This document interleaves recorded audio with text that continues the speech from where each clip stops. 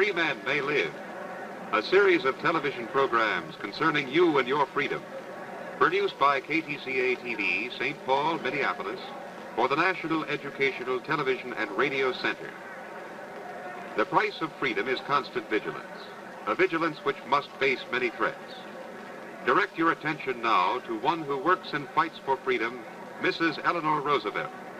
She discusses the cause of free men with Dr. John Schwarzwalder, General Manager of KTCA TV. Here is Dr. Schwarzwalder. That free men may live is the theme of this continuing series of programs, as, in a much larger sense, it is the theme of all the best efforts of mankind. And the struggle for freedom has, of course, many different aspects in many widely separated places. But surely our guest for today, Mrs. Eleanor Roosevelt, is among those who have most effectively, through the years, served in this struggle for freedom. And Mrs. Roosevelt, if I may start our interview by asking you what, in your opinion, the balance should be in this whole matter of armament and disarmament. We're told, for example, that we must spend 70% of our budget, and then we're told that it's going to be cut a little bit, and then we're told Mr. Khrushchev is going to cut his budget a little bit, and then we're told of new scientific things and we must do more. Uh, do we have to have total disarmament? Is there a possibility of arriving at peace uh, through partial cuts in this? Where, where should we stand in this? It's a matter of great confusion to all of us, I know. Well, I should say that in the long run, we would all hope to have total disarmament. But uh, to reach that, you must do so many things that I think one should begin by attempting to control armaments. Perhaps, first of all, uh, the most dangerous armaments. And um, that, of course, is what Mr. Khrushchev in his speech suggested, and that is the thing which I think uh, both our administration and the Russians are thinking about. They talk of total disarmament, and it sounds, or rather, I think Mr. Khrushchev made it sound as though it was possible within four years that ignores the fact that actually you must replace it with rule by law. If you don't rule by force, you must rule by law. And you must put into some neutral body, in this case it would be the United Nations, some force to carry out the law decisions because we've never yet reached a point where human nature has become so perfect that there were no infringements of the law, whatever it might be. And therefore, I think we must look to that for some indefinite period. So I would say that to reach what we all ultimately hoped for, we had to have, first of all, the building up of a legal system and the establishment within the United Nations of a police force to carry out the decisions of the legal system. And then I think we have to realize that uh, we have to have universal membership in the United Nations because everybody must be under the same rules. You cannot leave one or two nations outside as outlaws uh, to prey upon the others. You have to include in the membership every nation. And that means actually the settlement of the political questions throughout the world. And this, I think, is going to take some time. And therefore, um, I'm not uh, at all convinced that we can have nothing happen. We must move, and I hope we will come to an agreement on stopping nuclear tests. I hope we will come to an agreement on slowly um, through the establishment of an inspection system, which now seems possible, mm. um, in a reduction of arms. You can't do it all at once, you do it gradually, and at the same time, you will build um, your legal system and begin to discuss and solve the political problems of the world. But this doesn't happen overnight, but it does have to happen simultaneously. I see. So that we can start with some of these We things. We can start, but we mustn't give people the, I think, false hope that they do not have to go on working for this for a long time. Uh, obviously, we must keep on working for this, and you mentioned, of course, that the, there must be a rule of law to replace the rule of force. Uh, even in the best regulated of communities and nations, there has to be some sort of police force to, in the final analysis, uh, enforce that law. In your opinion, and again, I, I'm sure we're talking about a long, long time away, but in your opinion, should this police force eventually be centered in the United Nations? Oh, yes, without any question, it must be. Um, but I think there is a question that, of course, will come up as we discuss our um, situation in replacing force with law of what questions are submitted to this law. There will be a long period of discussion on how much sovereignty each nation is willing to give to this um, central body.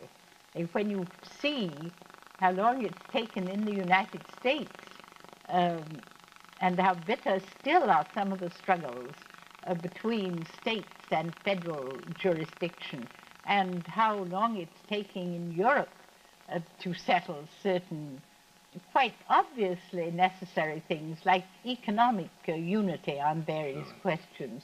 I, I think we must not expect this to go through without much discussion, and um, we must not frighten people by telling them that they will have to give up all their sovereignty. That, I think, is a thing that might delay us very much. Um, if we begin to talk about an overall world government, we will lose an enormous number of adherents. Whereas if we talk about building a law to replace force and gradually discussing what has to be submitted to that law, uh, I think we may work out a very workable and acceptable procedure. Uh, I do think from the earliest possible days, as soon as we have certain things that we agree to submit to international law, we should set up our enforcement police force within the United Nations.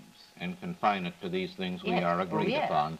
Uh, Mrs. Roosevelt, I recall that some 10 or 12 years ago, the idea of any inspection at all was anathema to certain nations, and then there was an acceptance in principle, but with such uh, reservations that it seemed impractical, and you have just said that at the moment it appears that there can be a sort of, of Well, there are new, there are new technical discoveries which make it seem the trouble has always been a lack of confidence.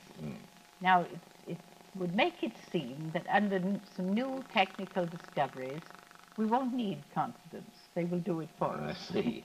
That brings me really to the second major topic that I wanted to discuss with you, and that is the whole matter of science. And I, I take it that uh, the progress of science, the tremendous things that have been happening, are, of course, perhaps the most important reason we have right now for wanting uh, some sort of, of disarmament, and surely uh, one of the important reasons for world peace. Uh, may I ask you what the United Nations is doing in order that the whole world may mutually benefit from discoveries made in one nation or another, and what can Well, it do? I think the United Nations has to depend upon the member nations' initiative in this field.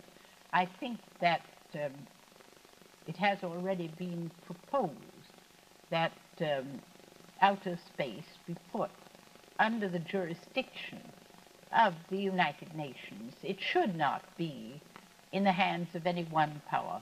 Of course, the ideal thing, which I look forward to, but I don't know that it will happen immediately, is that in the whole area of science, whether it's medical or agricultural or whether you're a physicist, no matter what you are or what you're trying to discover, it seems to me the ideal for the future is that this be done by the scientists of the world and frequently there be exchanges and consultations. I think we will move much faster. I think we will find it to the advantage of humanity if there is no restriction on intercourse in the field of science, because there the men are willing mm-hmm. to share and to work together. They are interested in getting as far ahead as possible, and they want the advantage of the rubbing together of minds. And I, I believe that that is an area where we can get cooperation to a very great extent from individuals and where we can make great uh, steps forward because of the cooperation.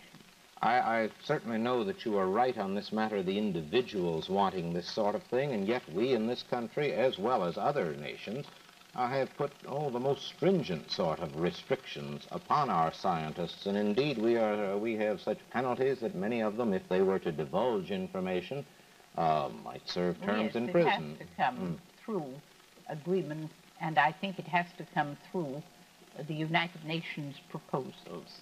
Um, they, many scientists would be considered to have committed treason if they yes. were to suggest uh, giving certain information to, let us say, the Soviet scientists.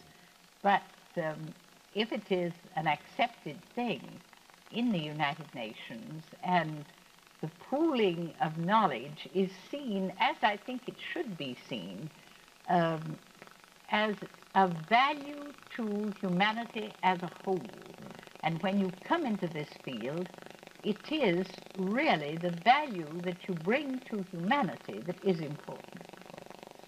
Mrs. Roosevelt, obviously the United States, as a very great and a very rich country, has a responsibility to uh, give as much to humanity, as you just put it, in terms of sciences as any other nation. And many people are, are much disturbed these days that we aren't keeping ahead in terms of scientific uh, education, that we aren't doing as much as we perhaps should and could in this respect. What is your view on this matter? Well, I, of course, am not a scientist, and I could not tell you whether we are, ahead. when you talk about being ahead, you mean, I suppose, ahead of the Soviet yes, Union. Of course. And um, I think it's very unfortunate that we always compare the two countries in this way. I, um, I think what we ought to do is to make sure uh, that we are giving those of our young people who are interested in science the best preparation for their future work that we can possibly give. And we ought to be willing to study what the Soviets are doing and to allow them to study what we are doing in the field of education uh, so that we are sure that both of us are giving the maximum opportunity to our young people as far as we can get any benefit from consultation. Um, I do not know oh, just um, how much we can get from each other. I think we can probably learn certain disciplines from the Soviet Union which we have not always uh, considered important, but which might be helpful to our young people. Uh, we've always felt that the freedom to think, think freely, was the overriding important thing, and I still think it is. But I also think that there are certain disciplines. Now, the Soviets lay so much stress on discipline that I think it goes too far. But um, in a, in a democracy, you have to have enough discipline, for instance, to acquire the kind of self-discipline that makes you a good citizen. Now, it may be that we need a little more self-discipline in our scientists. I don't know. But it might, there's an area that we might explore. And um, if so, we might learn how to enlighten our young people to the point of realizing the necessity of self-discipline because we cannot have the imposed discipline that the Soviet young people have. But I believe our young people, if they understood what, it, what depended on their self-discipline, both as citizens and as uh, top people in whatever field they want to go into, um, would be quite capable of learning what self-discipline means. But you do have to know that there is a challenge to you. Indeed. Uh, Mrs. Roosevelt, to go to another topic, we are often told by a great number of people that uh, the hungry man is not very much interested in freedom or democracy or any other of these concepts, that he's primarily interested in uh, food for himself and his family. Would you care to comment on that? And if you, if you happen to agree with that statement, uh, would you, would you uh, indicate what you think we could do about this? I agree with it completely because anyone who was in the areas of this country during the Depression, which is about the only time when I think we could say that we actually had uh, areas where for some periods of time there were hungry families. Mm-hmm. Um, I think anyone who's in any of those areas knows that a man would have sold his right to vote for a good meal for his family without the slightest hesitation. And I think we have to face this as a fact. Now, I think that uh, this brings us to one of the most important things in any uh, government's consideration of peace, and that is the whole question of food of the world. Now, perhaps you saw in the paper not long ago that there is always great concern about um, what they call the explosion of population yes. in different areas of the world. That's one question. But there is also the question of using the capacity for production in, of foodstuffs to the limit of your ability. A, uh, not, of course, destroying your land, enriching your land, but um, making it produce as much yes. as it possibly can and finding out how that can be distributed. Now, this is something we've been very negligent of. We have that knowledge, do we not, in our own country? Well, I'm told if that... we would work with food and agriculture and find out about the needs of the world, uh, what, of course, we have done uh, is, is a question, it brings about a question which I find very hard to answer. Mm. We have paid to keep land out of production. Mm. We have looked upon our surpluses as a burden as I go around the world and get asked the question, how can you pay to keep land out of production when two-thirds of the peoples of the world go to bed hungry every night, I find that a very difficult question to answer. Yes. Because it is laziness on our part which has never really made any of us willing to get the best minds in the country uh, to consult with Food and Agriculture of the United Nations to find out the needs. We have a great range of climate. We can cooperate with Canada, um, which also has the possibility of raising certain things, but not the same range of climate. Um, we have a literate population of farmers. Uh, we have great advances in producing quantities of food. We need not consider this a burden if we would set the best minds down to thinking how do you distribute? How can it be done and uh, pay? Um, at present, when we do, um, we pay so much for storage and for keeping land out of production that we might be able to balance that against uh, bringing up the prices that perhaps are on the world market. I don't know how this could be done, you see. Yes. I do know that uh, it affects a great many industries. For instance, we use a great deal of a certain kind of steel that is manufactured for the bins which hold our surplus foods. Exactly. So you see it affects a good many industries. Now it means the cooperation of industry. It means real thought and planning. And we just have been lazy. Along that same line, it's, said, and I'm, I'm sure uh, you would agree, that a, a man who is ill is uh, much more interested in regaining his health than he is in uh, democracy, freedom, that sort of thing.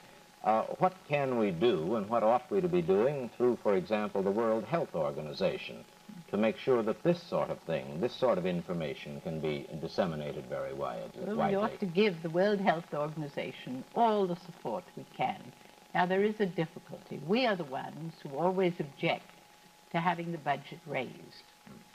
Uh, the reason for this is that, of course, our share of any budget is much the biggest. Yes.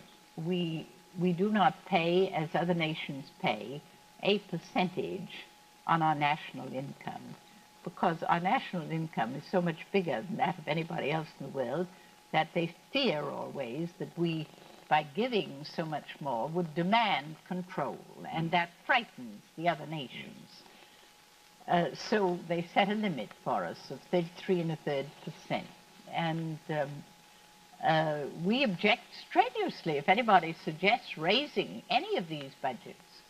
I think perhaps what we ought to do is to do the limit and never object to the raising of a budget through the UN that we can and then always do whatever we do bilaterally in consultation with the UN organization that is in that field. I think in that way we would avoid the accusation of trying to control people through economic pressures. Mm. And of course, uh, making people well is an economic pressure because for the first time, if you free them of malaria, they're able to do a day's work. And so it has a, a bearing on the economic conditions of the country. Mrs. Roosevelt, I know that you know that in the last year we've had more American tourists going to Russia than in perhaps uh, the preceding 10 years. And of course we've had uh, Soviet athletes and ballet dancers and scientists and hog farmers and almost anything you can name in great quantity coming over to this country. Is this so-called uh, cultural exchange uh, something to be encouraged? Are there positive, definite benefits from it, or is it sort of the frosting on the cake? Oh, I think where people go really to study something. I'm not uh, convinced that the exchange of tourists in the Soviet Union until many more tourists speak Russian, has such very great advantages because their only contacts are through the interpreters and they go, they choose a tour and they see. It's as good as most tourists, do you see? but at present, what we need is greater understanding between the Soviet people and ourselves and a greater knowledge of what they are actually accomplishing. Because we, for a number of years, felt that they could never do anything good. Well, of course, in 41 or 2 years, um, they've accomplished a great deal. Now, they've done it under compulsion. Um, we cannot operate under compulsion. But nevertheless, we should know what they have done and the people who go abroad as exchange students or professors to study definite things. I went, for instance, in the hope of learning a great deal about their education, and I learned a great deal. Mm. And I came back with very distinct ideas as to what we could learn from them and what uh, would not be possible uh, for us, what uh, would be undesirable. But, um, and I don't believe that we can expect from the average tourist as yet very much benefit. I see. I was, I was interested in your comment about the uh, tourists uh, would have to, a great many more, would have to speak Russian. Uh, just in the last, oh, three or four years, there's been a great uh, increase in the number of Russian classes taught in colleges, by television. You would, you would encourage this sort of thing. Oh, yes. Why, the, the um, uh, State Department, of course, has increased uh, its insistence that our foreign service officers uh, begin to learn some languages. Um, and now You know, New York Times made a survey not, not very long ago and discovered that any number of our Foreign Service people spoke no language except English. Yes.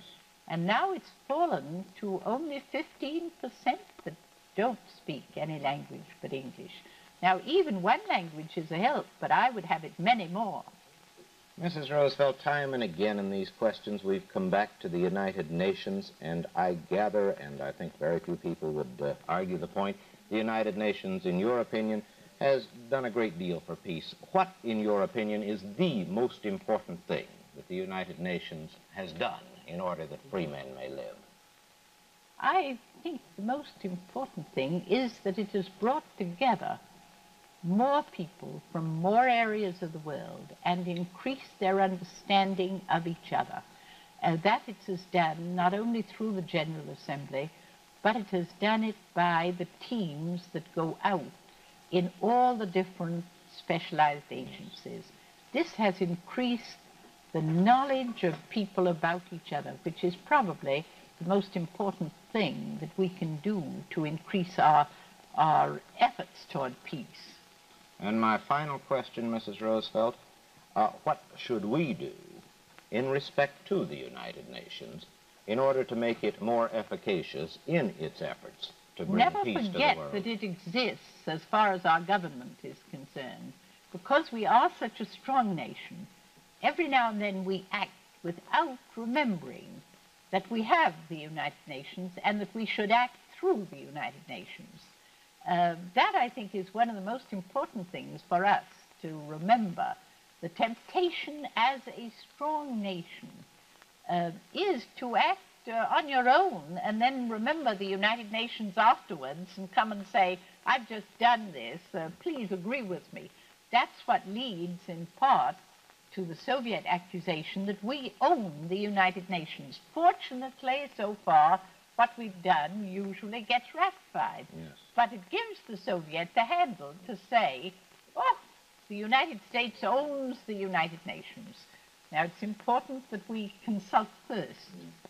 And I think that's one of the most important things we can do. Thank you very much. That Free Men May Live has been greatly honored to present on this program Mrs. Eleanor Roosevelt, who has given us of her wisdom in order that we may better understand how free men may live.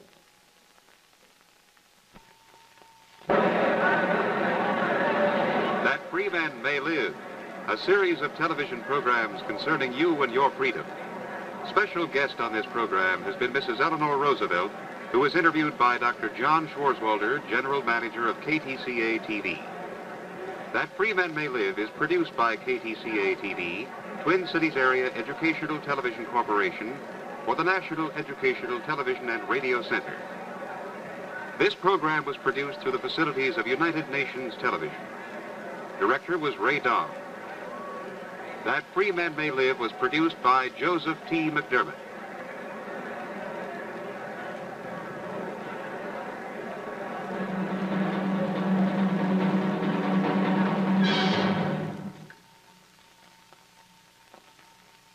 This is National Educational Television.